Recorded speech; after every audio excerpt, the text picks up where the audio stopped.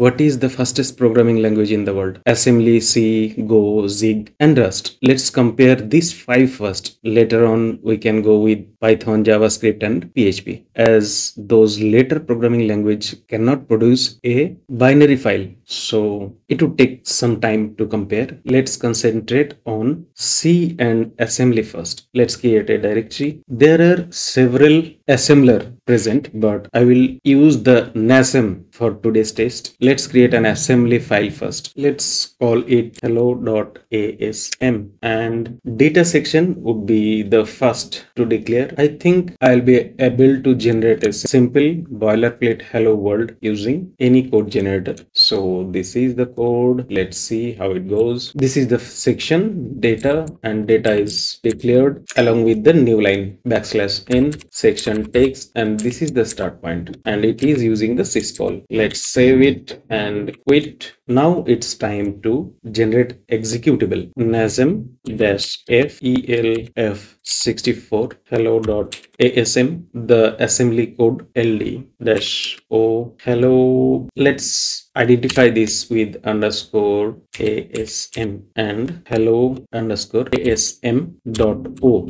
This will be the object file similar to c and it will run the hello executable binary. Right now i see it is showing as red. That means it is right now unable to find this hello underscore asm but later on as this build goes it will be able to find this. See nasm is not installed on my system. As i am using arch based distro it will be pretty much easy to get one wonder to see the download size. It is only 1 mb and after installation it would take around 5 mb let's proceed with the installation. The installation is done. Let's run. See this has successfully generated hello world using assembly nasm hello world is there. Let's find the hello executable. Hello executable is only 8.9 kilobyte so our next target would be to run the hello world in c. The file name would be hello.c let's edit this file. First we must include stdio.h stdio.h it is for the standard input output definition. It's better to use int main and let's declare the main function. Printf the hello world must be within the quotation else it will search for any variables. Hello world is done. Now it is time to provide a next line argument which is backslash n. I know there are some operating system. They require much more just to define the next line argument. It's better to return a zero as it identifies as a successful run return zero so our program is ready. Now let's run this program. See the hello world is there and it has successfully given the next line. Now it is time to see the size of the binary. It is 15 kilobyte. See assembly to see it has increased nearly as double as the binary size now let's try how go performs create a directory only for the go make the directory hello underscore go and change the directory to hello underscore go micro hello dot go first i'll have to declare the package package main and I'll have to import formatting. That means it will take care of input, output and formatting. Import FMT. By the way, FMT is default within the Go compiler. So I do not require any additional information. Now it is time to declare the main function. Function main still it seems like a C program because the developer of C and Go are near the same. Just you can understand as Go as a much better and modern C programming, having multiple added advantages like handling the network, understanding of modern hardware, capability to run multiple threads, especially the concurrency. To handle concurrent process go is much easier. So the fmt dot print we must include within quotation else it would search for any variables. It has successfully integrated hello world and now i don't require to return any value. Now it's time to build the go program. Go build hello.go go is not installed on this system Actually, I'm using a new system with a new keyboard. Okay, let's search for the Go. See, there is two binary. One is Go and another is GCC Go. For the original Go, it would take around 43 MB to download and for the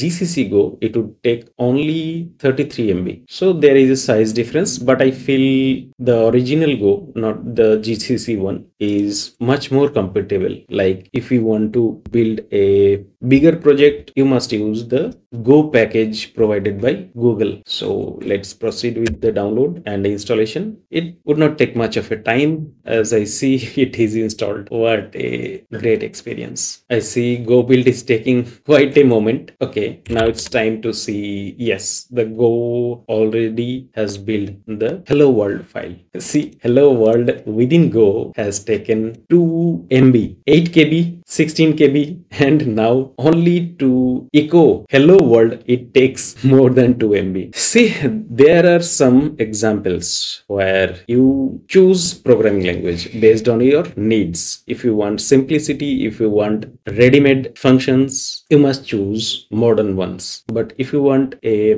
groundbreaking application like driver, operating system, kernel, it's better to choose assembly or C. C and assembly feels very much similar, but in case of Go, there are multiple overhead. But there are also another point, like if you cannot handle multiple CPU threads, concurrency much better than the Go, then you should not think about that level of optimization. In that case, you must choose the Go language for your development. I wonder how modern days new generation language handles this type of simplest requirement that is echoing the hello world. So Zig nowadays coming as a alternate to older programming language like C. Now let's check how Zig performs. Make a directory hello underscore Zig. Now I am in hello underscore Zig. hello dot Zig now it is the simplest like standard output input and the main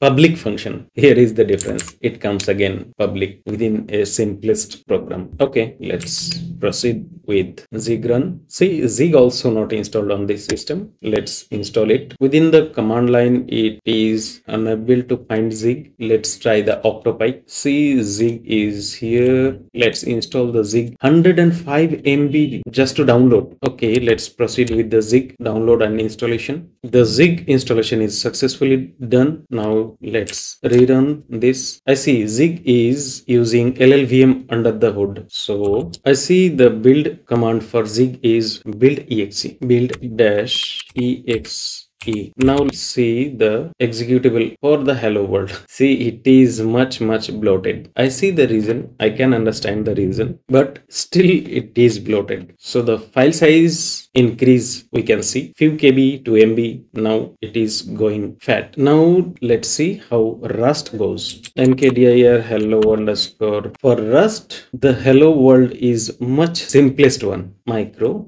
hello dot rs function main. Now let's declare the function print ln not hello world as c directives we must end the line using semicolon. Let's save and quit. Rust c is the program to generate the build event to run. Rust c hello.rs the output binary file would be hello. See the rust c is also not present. Let's install rust c. I find three installable options. One is rust up another is rust and the Chaotic AUR is providing another repository. The first and third one is most latest. As you see the version 1.28.2 and the extra rust it is 1.89 but it is coming from the rustlang so i would prefer to use this second one. It is around 66 mb download speed is around 13 to 12 mbps so is installed within few moments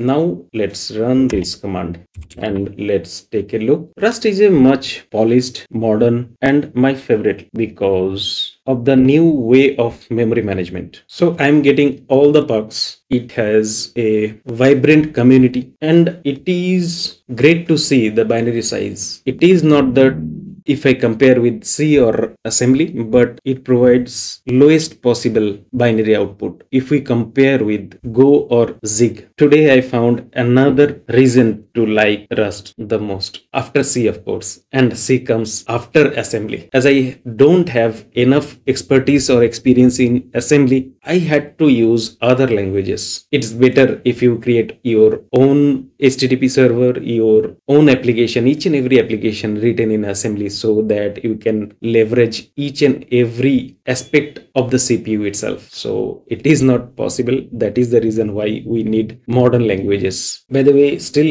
I have not run this hello. Let's try it with hello. See the hello world. It is working. It must be working. So what I have learned today, I have learned to install multiple programming language, build tools, using the Arch repository using Octopi and I have found some experience how fat the executable are in terms of various programming languages. To summarize, let's see the file size comparison in one place. Let's clear the screen, file, hello slash hello. If I see the file information for the assembly, it is quite good and compact. In case of Rust and C, we see the dependency is injected over here. lib64.so file. It is similar to dll file for other derogatory type operating systems. In linux we find .so file. See for rust and c the interpreter is defined. Now i will list those file size. Now i see